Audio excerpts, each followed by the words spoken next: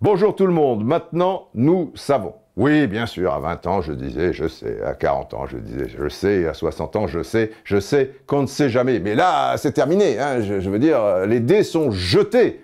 Oui, Paris champion, on le sait depuis la nuit des temps. Mais pour le dernier match au Parc des Princes, il y avait un côté émotionnel très fort, car c'était le dernier match d'Ibra avec le PSG après quatre saisons magnifiques. Eh bien, PSG a explosé 4 à 0 Nantes, mais surtout Ibra a marqué deux buts. On en parlera tout à l'heure. Bon, Lyon, deuxième, euh, ça, viendra aussi plus tard par rapport au match euh, du bas du tableau. Mais Monaco.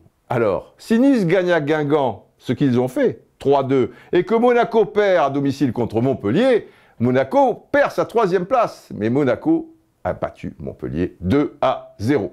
Et puis pour terminer toujours un peu dans le haut du tableau, le cinquième Saint-Etienne à Geoffroy Guichard recevait euh, Lille. Les Dogs ont gagné 1 à 0, ce qui nous donne au classement, euh, vous le voyez, euh, ça n'a pas changé, hormis Lille qui passe devant Saint-Etienne. Maintenant, les matchs euh, sans intérêt majeur, parce que, parce que pas de Coupe d'Europe, euh, pas de relégation, euh, pas de chocolat. Alors, l'OM a fait match nul à 3, 1 partout. Victoire à l'extérieur de Bastia, c'était à Rennes, 2-1. Et Caen qui a battu Bordeaux, 1 à 0. Ce qui nous donne au niveau du, classement, mais au niveau du ventre mou, voilà, on appelle communément euh, ce, ventre mou entre la 7e et la 16e place. Bravo surtout à Angers, hein, avec un petit budget qui termine 9e. Et puis le, désastre, c'est l'OM, même s'il grappille un peu. Et nous terminons évidemment avec le dessert.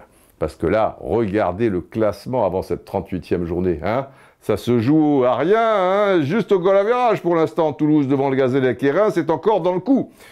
Et Reims joue à domicile contre Lyon. Lyon, pas très motivé. Hein. la saison, elle est terminée après le 6 1 magnifique contre Monaco. Et comme prévu, Reims, enfin prévu à ce point peut-être pas, a gagné. Mais a gagné 4 à 1. Pour le Gazélec, c'est terminé, battu à Lorient 1 à 0. Ça veut dire que Reims est devant Toulouse au moment où je vous parle. Et Toulouse doit gagner à Angers pour s'en sortir. Eh, ça commence mal. Angers ouvre la marque. Et Toulouse derrière. Hmm, mauvais signe. Brightweight qui rate un penalty. 1-0 pour Angers à la mi-temps. Égalisation de Ben Yedder à la 51e minute. Mais deux minutes plus tard, Angers qui reprend l'avantage.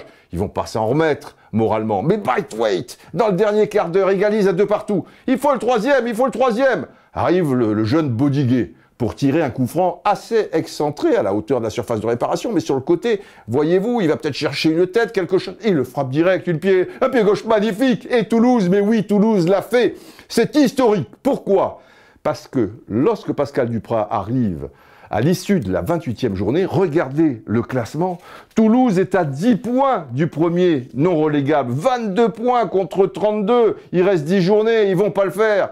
Et pourtant, et pourtant, en football aussi, on sait qu'on ne sait jamais. Donc le top, c'est Toulouse, bien évidemment. Le flop, c'est Saint-Etienne, une fin de, saison en, eau de boudin. Et puis, deux hommes de la journée, Ibrahimovic, avec les deux buts, il fait tomber le record, le record de Carlos Bianchi, qui en était à 37. Là, il passe à 38. Bon, après, c'est vrai qu'il reste Kaita, 42, Escobla, 44. Enfin, quand même, de nos jours, 38 buts, les enfants, c'est pas rien. Et puis, l'autre homme de la journée, c'est Pascal Duprat, l'entraîneur de Toulouse, Chapeau, chapeau à lui, et bien sûr à, ses joueurs. Alors, qui pour remplacer Ibrahimovic la saison prochaine? C'est la question euh, du jour de M. Felchi Papandi.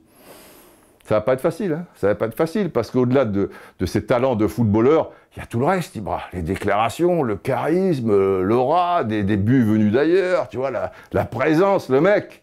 Moi, je dis que s'ils prennent pas Ronaldo, ça sera forcément en dessous. Alors, il y a aussi Neymar, il y a des contacts, mais c'est très compliqué pour faire venir des joueurs du, Real, du Barça.